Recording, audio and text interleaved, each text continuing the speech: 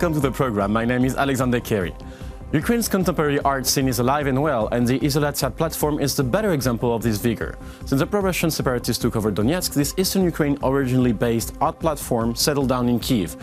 Today, the platform unveils its new project, which mixes art and urbanism in the center of Kiev.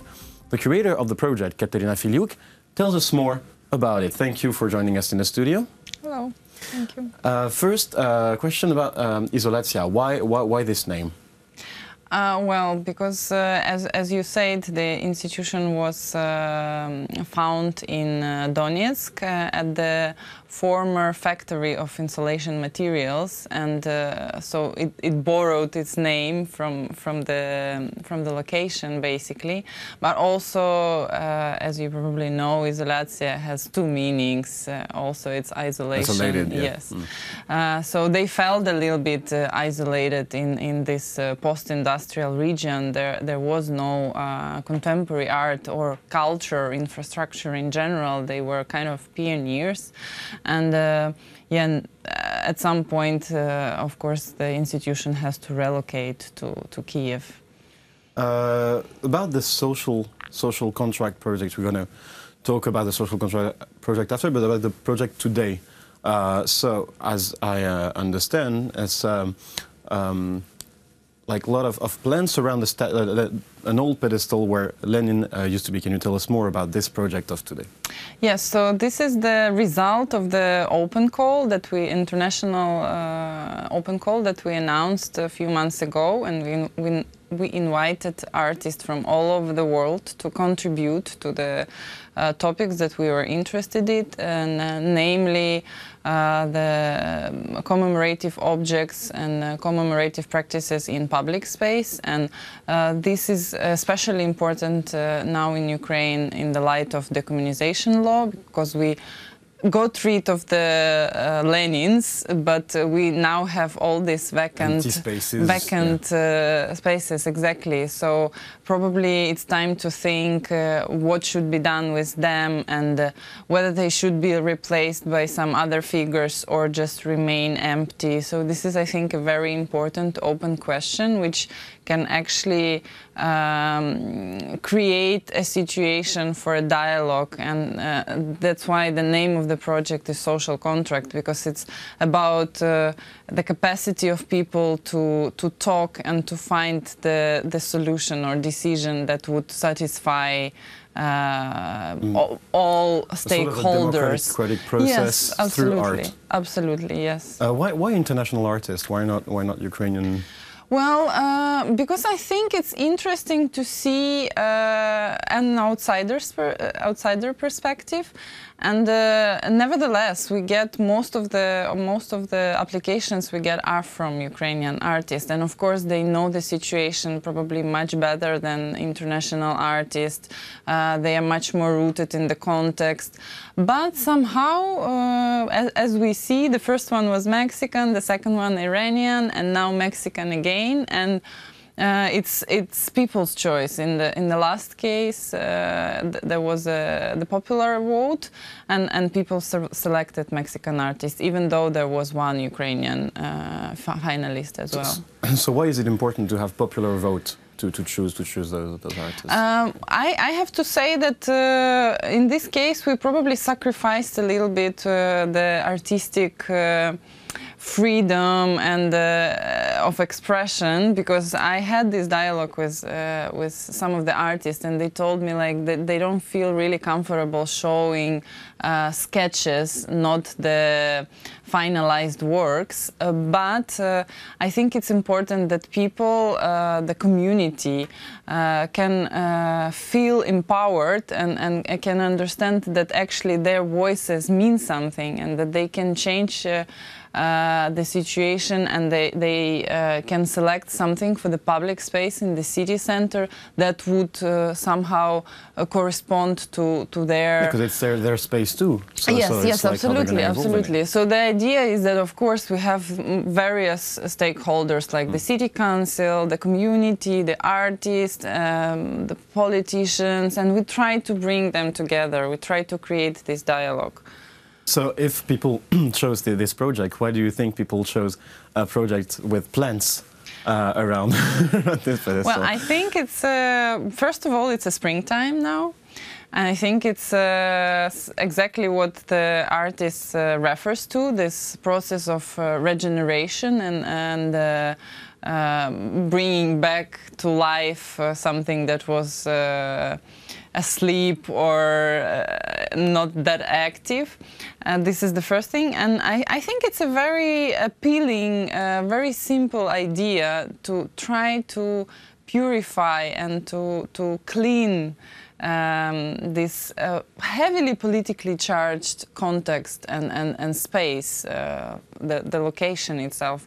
Uh, Because wi- for people to understand, it's like in the center of Kiev, in Bessarabka market, and this pedestal used to be a Lenin statue, but it also used to be a, a gallows uh, during uh, Yes, during uh, absolutely. World War II. Yes, yes. So it's, as you said, fully yeah, fully yeah, it's charged. ver- yeah. very charged, and, and as you probably know, it's there are also many plans to to erect a, a permanent uh, monument there to the heroes of um, anti-terrorist Mm-hmm. operation, or to some uh, national heroes like Taras Shevchenko, uh, or even Virgin Mary, which I think is uh, probably too much because we are uh, a secular state, not a religious one.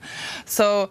Um, So yeah, the plant Indeed. is innocuous and it's, it's yeah, it's a little bit. I mean, it's very neutral in a way, and uh, also um, artist. The artist tries to put aside a little bit all these political and social issues, and to to provide uh, this opportunity for people to maybe.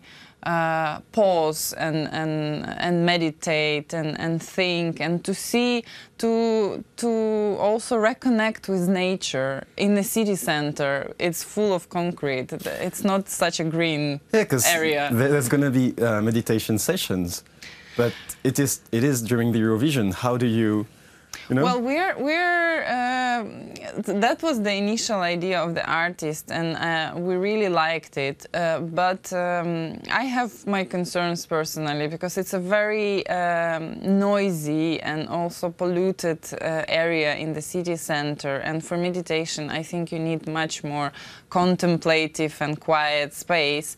So we'll try to organize some sort of activities. I I, I don't know if we can could call it meditation like but uh, yes that would be the last day of the of the project on the may 17th and also we would like to distribute the plans on the may 17th but we uh, really wanted to uh, warn everyone and ask everyone not to you take can insist if you want yeah, on not not to take the the plans before that because uh, uh, they will be for uh, for distribution, but towards the end of the at the end of the project, not now. Let's let's uh, try to keep it yeah, because beautiful and nice. is, is about for- plants also. so- for two weeks. Yeah. Also, it's gonna grow because it's this is also the beauty of this project. I think that uh, in two weeks it's supposed to grow at least 10 centimeters high, so it it would be much more beautiful uh, in in a while. So let's wait together and and then get the the beautiful plants and, and adopt them. Um, one uh, other question about you said about art and politics. It's a way to pose uh, this art and- and mixing between art and politics. Uh, what do you do? Would you say that since the revolution, uh, the art is deeply linked, always deeply linked to politics in, in, in Ukraine? Um, I think that Ukrainian art was uh, always pretty political in one way or another. And uh, if, if we talk about the generation of the artists who came uh, in, in the 2000, they, their uh, appearance was uh, very much linked to the Orange Revolution. Uh, so, and, and they were very active and uh, also uh, balancing a little bit on this verge between activism and art and, and being like very political. And after Maidan, yes, I think this, this tendency remains and maybe even uh, boosts a little bit. Uh, but uh, in general, I would say that Ukrainian art is, is pretty political. And um, about like history, um, this is it a way to to to sorry again we're gonna cut it in the montage anyways it's fine. Um, yeah, so for the social uh, for the social contract project, what's what's next? What's the other? What's the next uh, projects around this? Yeah, well, so we started uh, with an exhibition and uh, a public program last summer. And then the first uh, temporary installation followed. Uh, the second one was uh, in autumn. This is the third one, and we're planning the fourth and the last uh, this uh, autumn.